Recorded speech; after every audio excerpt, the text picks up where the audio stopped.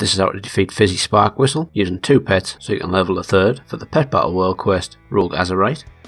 Your first pet is a Slithershock Elver. This needs to have a speed above 274. I'm going to say a BB breed is needed here as I don't have the others to check. If you use a different breed and it works, please leave a comment below. With Grasp, Dodge and Pump. Your second pet is your leveling pet. This one should have at least 500 health as it will take a few AoE hits. And your final pet is a jellyfish, with Tentacle Slap, Rain Dance, and Squeeze. I've tried each of the three jellies I have, and all seem to work. However, this fight can be heavy RNG at times, so may not work all the time. Start with your Slithershock Elver, cast Dodge, followed by Pump to Charge,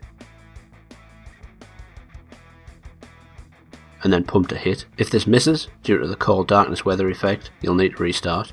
After Pump is hit, cast Grasp until the Azerite slime is defeated. Should take 2 or 3 if you get a miss. Once the Azerite slime is defeated, the Azerite Geode enters. Start with Pump to Charge, followed by Pump to Hit. The Azerite Geode's Rock Barrage can be very RNG, so it may mess this part up somewhat. After Pump is hit, cast Dodge,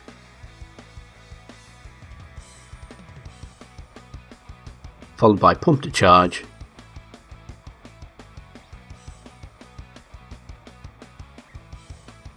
and then pump to hit. This should finish off the Azerite Geode and the Azerite Elemental Enders. Cast Grasp until your Slithershock Elver is defeated.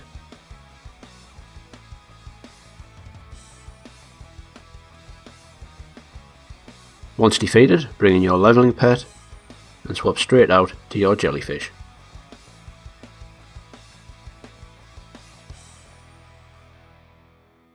Cast Squeeze.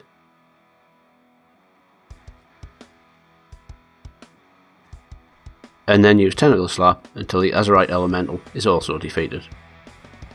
Your leveling pet should get around 3k XP with your Safari hat equipped. If you found this video helpful, please consider giving it a like and subscribing. Thanks for watching.